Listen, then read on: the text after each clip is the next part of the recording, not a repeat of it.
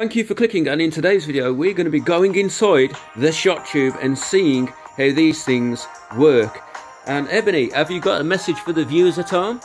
Merry Christmas. And yes, a very Merry Christmas to you. But guys, what we're going to be doing in this video is choosing a suitable shot tube, slicing it down the middle, deconstructing it, and then lighting all the chemical composition inside up separately and seeing how it works individually. But guys, it's daytime here and you can see how dull it is and you can see that the Christmas lights are still visible. Oh, let's see what we got here um, to choose to dissect and go inside the shot tube.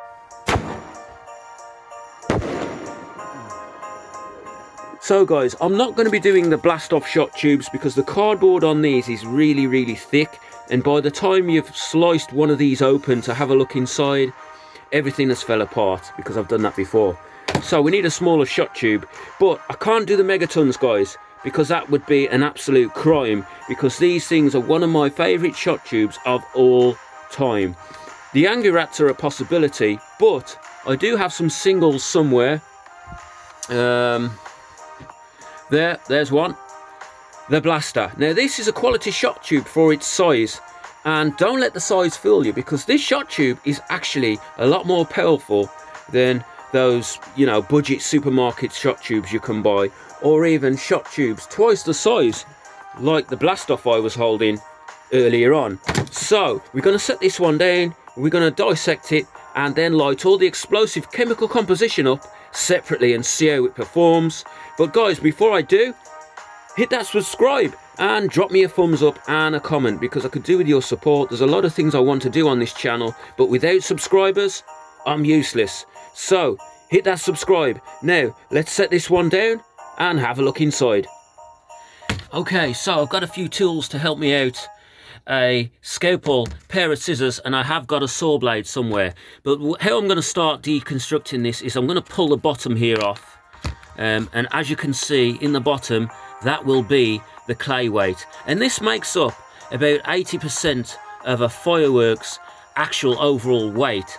Um, so that's basically butane clay in the bottom. Sometimes I use sand, um, etc. But what I'm going to do in this video is I'm going to slice it right down the middle with the help of this scalpel. And I'm going to try to leave the ingredients um, all intact so we can see the layers, we can see the burst charge and the shell inside and how these things are engineered to work. So let me just get this one open and then I'll get back to you. Okay, so I cut it straight down the middle with this trusty scalpel and it was quite difficult to do without disturbing all the ingredients inside um, but I seem to have managed it. Now as you can see this just pulls off here this spike um, that you stick into the ground to secure the fireworks so we'll just remove that. Now I'm just going to start at the bottom here and this is what's known as your clay weight. Like I've said this makes up about 80% um, or in some fireworks 75% of the fireworks overall weight. So I'm just going to try and open this without disturbing the burst charge um, that is just above it here so you've got your clay weight at the bottom, as you can see there. And if you actually look inside here, and I'm going to try and get the light in so we can have a good look. There's actually flecks of granulated gunpowder, otherwise known as a burst charge. Um, I don't know if you can see that there, but I am going to empty this contents out. But I just want to leave it intact for now. This here is known as a burst charge in the pyrotechnics trade. Now you can see that there's a fuse as well, the main fuse here, um, that runs down from the top. And if you've noticed, there's a reason why they run the fuse down from the side and the top on shot tubes and I'll get to that in a moment. However, we can clearly see here that this is granulated gunpowder. I'm just going to empty this gunpowder out onto some paper here so we can have a closer look at it.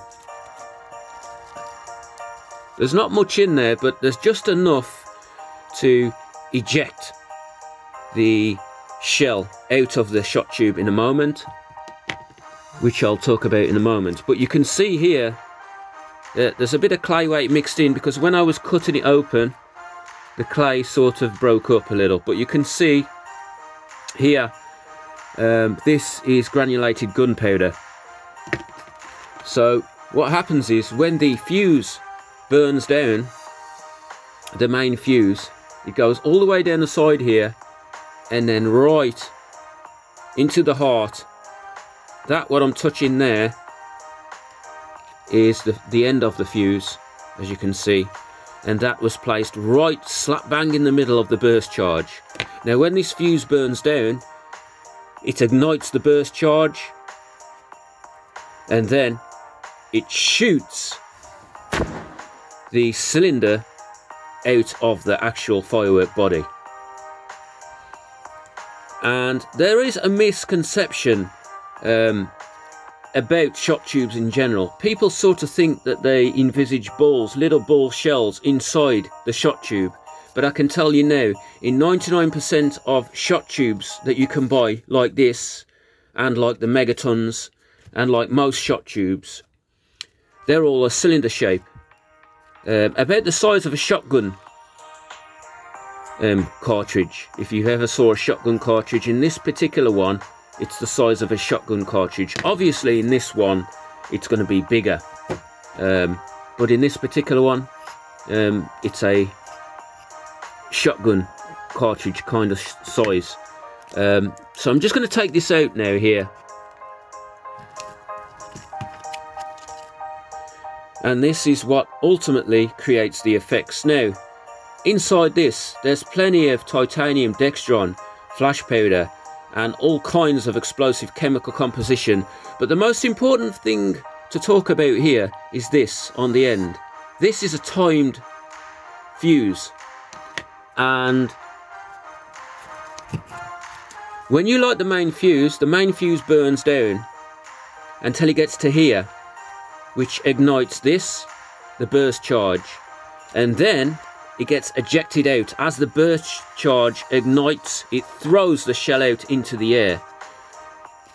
Now, the reason why, when it shoots out of the, the actual firework tube, it looks like a ball, is because when it shoots out, it's spinning around very, very fast.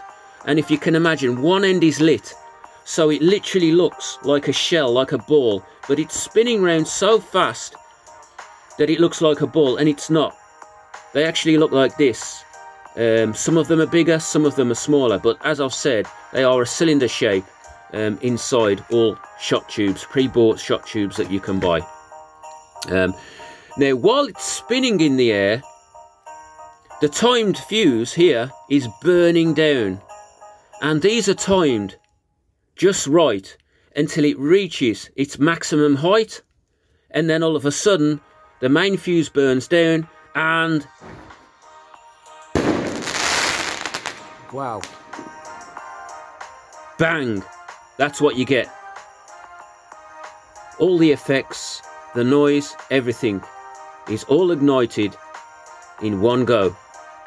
In a ball of dextrin titanium silver powder flash powder you name it all the elements from the periodic table are there and it's totally ignited um, admitting effects.